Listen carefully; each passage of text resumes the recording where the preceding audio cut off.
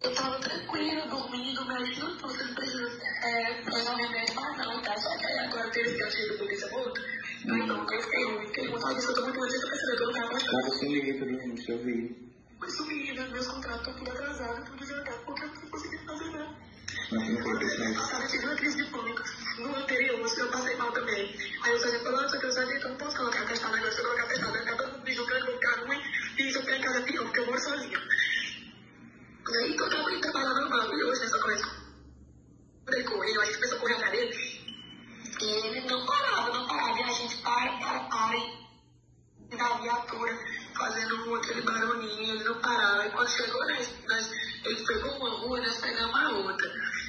Aí nós pegamos de, de frente com ele, alguém parou de frente com ele, ele desviou e não parou, né? Uhum. Quando ele desviou, eu desembarquei e atirei no pneu, na, na, na, na corrente da moto, né? Uhum. E ele não parou, ele continuou correndo.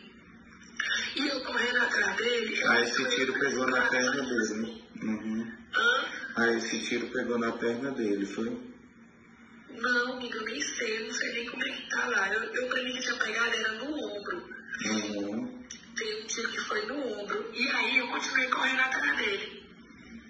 Que foi justamente na hora que ele entrou no, no, no beco, né? No bequinho casa vizinha pra poder entrar pro outro lado pra ir pra casa dele. Só que nessa hora eu acho que esse tiro no ombro ele já tava meio que tem? Uhum. A gente parou, prestou os primeiros socorros, eu pedi o curso dele, chamei a ambulância, a ambulância demorou, e aí quando eu olhei eu já tava sem vida. Só que isso quer dizer que ah, eu entrei na casa dele, eu tiro na cabeça dele, eu fiquei jamais saiu um negócio desse. Pois é, por isso que eu estranho. Então não tem tiro na cabeça.